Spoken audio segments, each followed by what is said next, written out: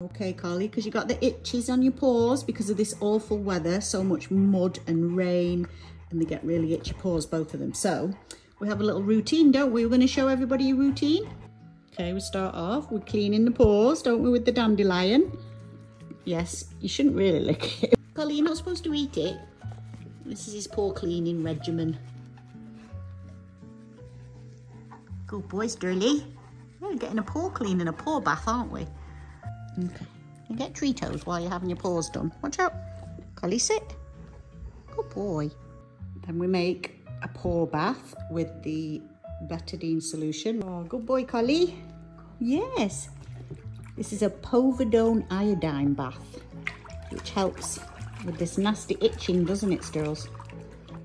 Yeah, got the back paws in too, haven't we? Look like a ballerina. Good boy, Stirls. They make you feel better. I'm going to put the silver shield on your paws. Now they're all clean.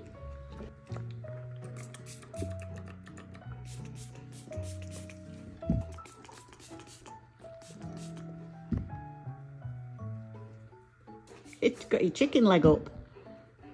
Does that feel better? What about you, Coles? What do you think? What are you looking for?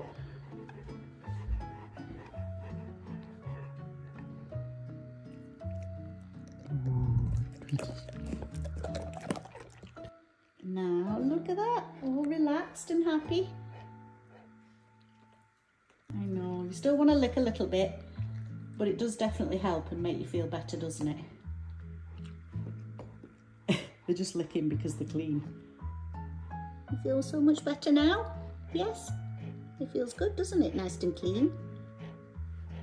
The last trick is, because obviously they're still going to want to go out before they go to bed. So, what do we do? We put your little booties on so they don't get re-dirty before bedtime. Oh, wait. I'm trying to get them off. You're crazy.